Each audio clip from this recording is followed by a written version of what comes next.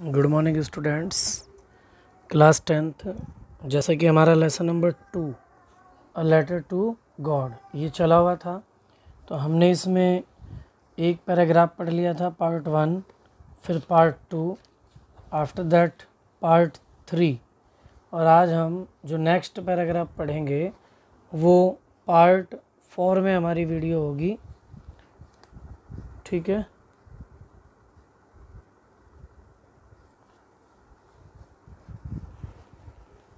तो नेक्स्ट जो हमारा पैराग्राफ है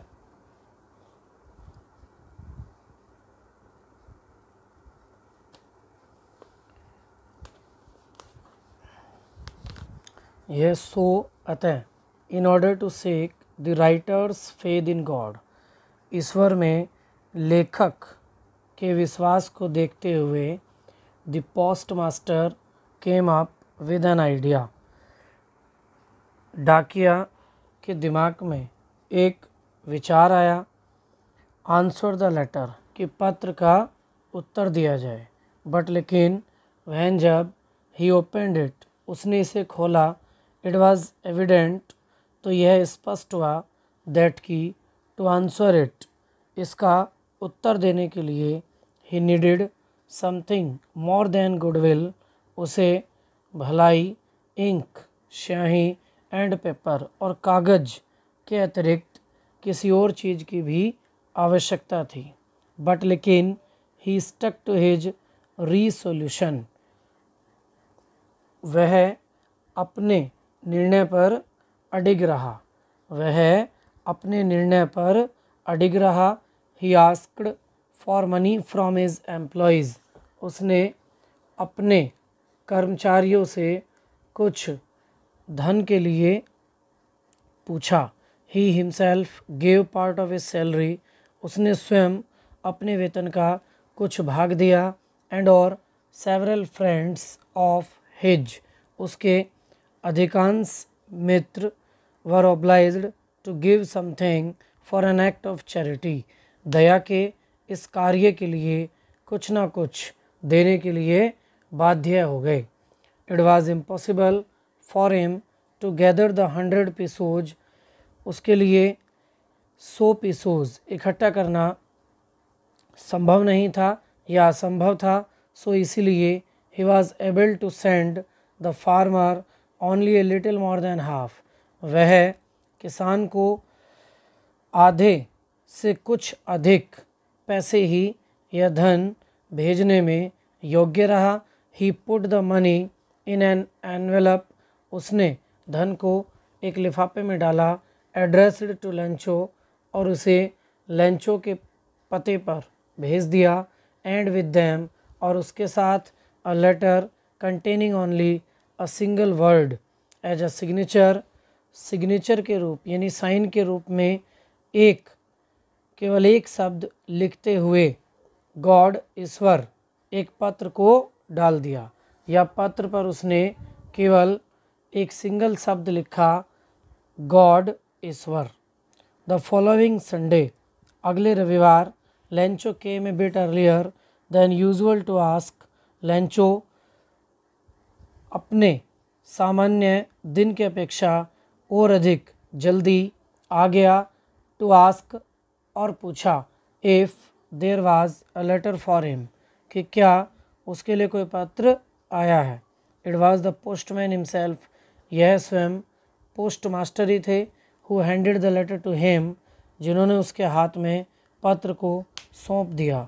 वाइल जबकि द पोस्टमैन यह डाकिया ही था, जिसने स्वयं उसके हाथों में पत्र को सौंप दिया।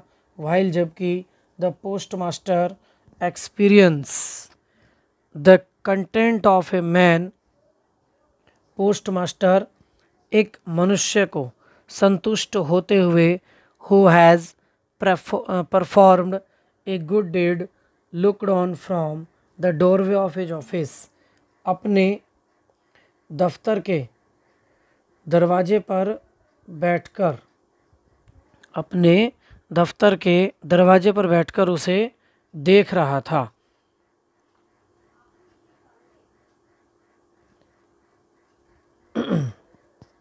Lencho showed not the slightest surprise on seeing the money Lencho को धन को देखकर बहुत अधिक आश्चर्य नहीं हुआ।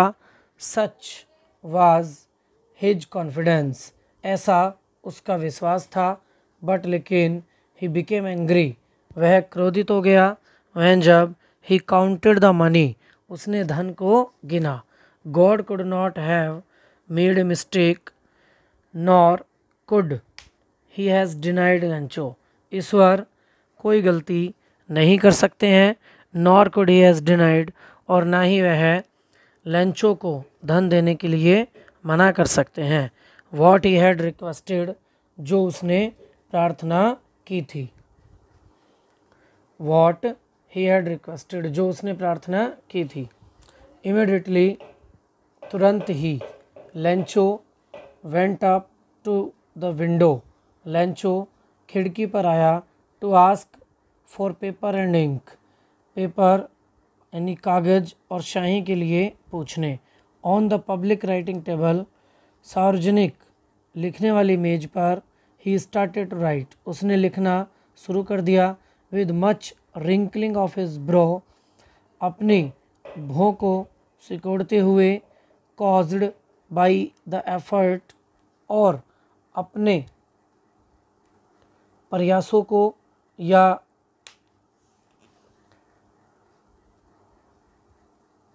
उसके मस्तिष्क पर बल पड़ गए। He had to make to express his ideas उसने अपने विचारों को प्रकट किया या उसे अपने विचार प्रकट करने पड़े। वैन जब ही फिनिश्ड उसने पत्र लिख लिया।